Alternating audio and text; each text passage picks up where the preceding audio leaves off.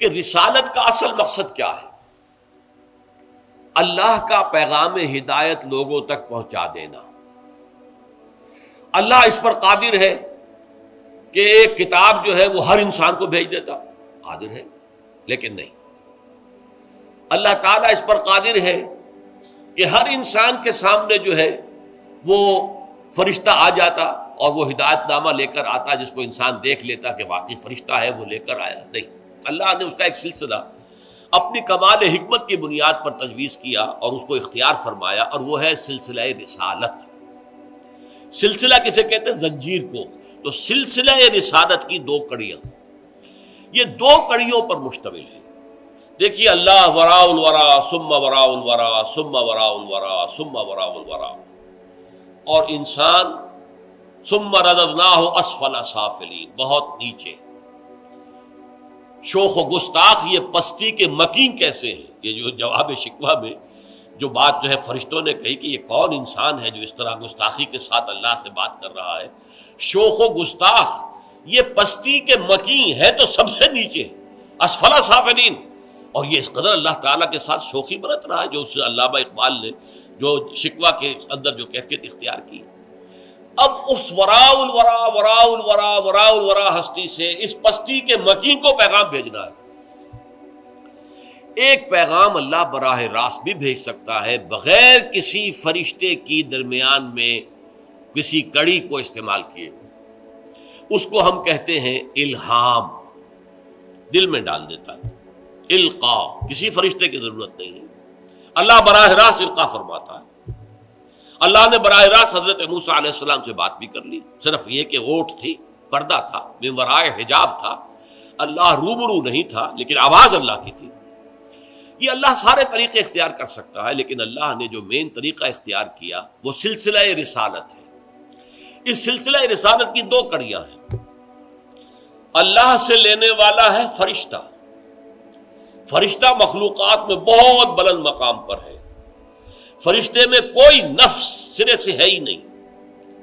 फरिश्ता नूरानी है, नूर से तखलीक पाया है, लिहाजा अल्लाह से लेता है फरिश्ता।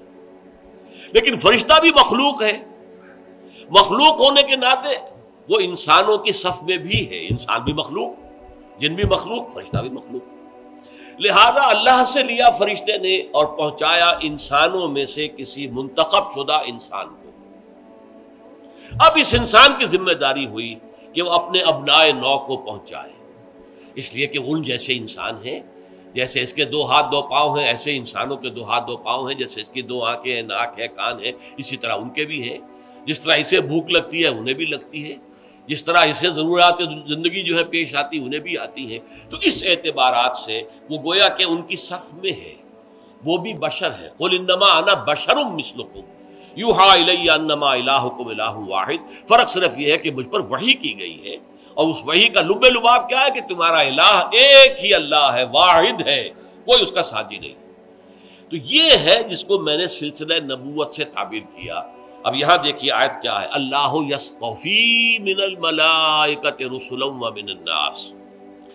अल्लाह चुन लेता है, पसंद कर लेता है, फरिश्तों में से भी अपने पैगाम बर रसुल।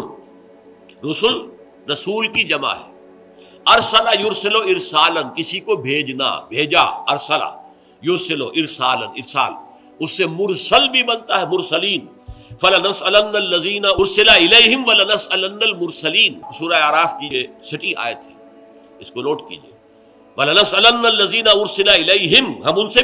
जिनकी तरफ़ हमने रसूलों को भेजा। वलनसलनल मुरसलीन। हम मुरसलीन से भी, जिन्हें हमने भेजा, उनसे भी पूछेंगे, तुमने हमारा पैगाम पहुँचा दिया या नहीं? तो मुरसल या रसूल वो है कि जो एलची बनाकर भेजा जाए। अब पहला मुरसल कौन है? पहला रसूल कौन है? रसूल मलक। फरिश्तों में से अल्लाह ने चुन लिया है हज़रत जब्राईल इन रसुलन मिनन्नास। और लोगों में से भी चुन लेता है। लोगों में से चुना इब्राहिम को, लोगों में से चुना मूसा को, लोगों में से चुना ईसा को, लोगों में से चुना नूह को, हूद को साले को, शुएब को, लूत को अलैहिस्सलाम और बिल आखिर चुना मोहम्मद वसल्लम। तो ये दो कड़ियाँ हो गई रिसालत की कि एक रसूल मलक है जो अल्लाह से लेता है। अल्लाह से कुर्ब रखता है। क्यों? कि वो नूरानी है। उसमें कोई नफ्स हैवानी सिरे से है ही नहीं। लिहाजा अल्लाह से बराह रास्त लेना उसका बिल्कुल करीन क्यास है, उसका कुर्ब है। फिर वो पहुंचाता है रसूल बशर को, इसलिए कि मखलूक होने के नाते वो रसूल के करीब है, रसूल बशर के करीब है। कि जैसे रसूल बशर मखलूक है, ऐसे ही वो जो रसूल मलक है, वो भी मखलूक है। अब जिम्मा लगता है उस रसूल बशर के क्या पहुंचाओ अपने अनवा, अपने जो भी अबनाए नौ हैं, जो अपनी नौ के इंसान हैं, अपनी कौम है, अपने लोग हैं, उनको पहुंचाओ।